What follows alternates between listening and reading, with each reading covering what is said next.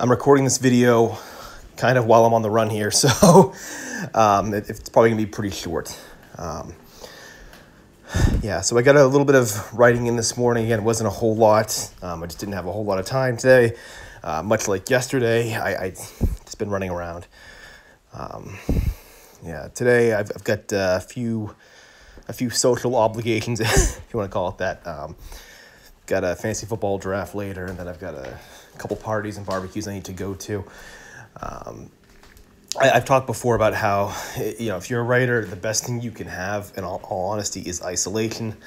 And yeah, there's a lot of times where you, you sort of need to make, you know, on, on occasion a sacrifice where, you know, you know, your work should come first. You know, if you're in the middle of a really good session, a really good writing day, and you're like, man, I'm onto something really good. Well, maybe maybe you need to make that sacrifice. Maybe maybe you need to skip that that that social event that day. You know.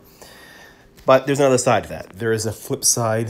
There is a another viewpoint, which is yes, yes, your artwork is important. What you are working on is very important, but you still need to live.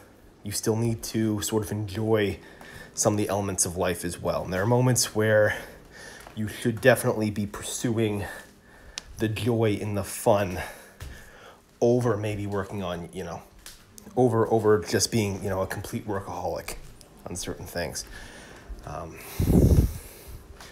a lot of people want balance. I if you if you listen to my, what I say, if you listen to the Gospel of John, if you want to call it that, you'd probably get the sense that you know your my life is maybe somewhat unbalanced. Maybe I'm doing a lot of things and maybe not enjoying all of the the aspects of life. You know, I'm not I'm not necessarily you know enjoying kind of the fun side of things, and it's not exactly a balanced life.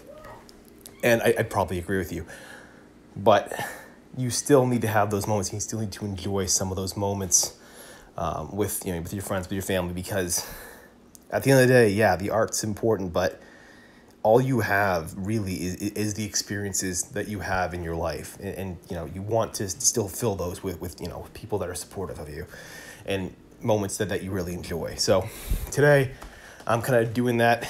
I'm sort of, you know, giving myself kind of the free pass to not get a whole lot done today and just enjoy um, kind of my day.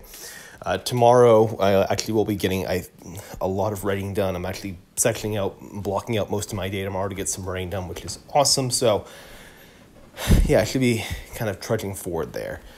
Um, but yeah, writing's important. Your goals are important but still take those moments and enjoy them. All right, I will uh, see you all tomorrow.